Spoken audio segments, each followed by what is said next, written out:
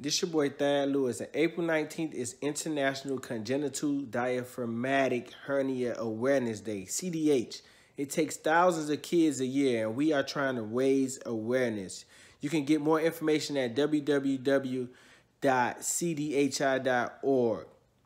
This video is to get guys, and I'm hoping to get kids lots of awareness today. Please check it out at www.cdhi.org.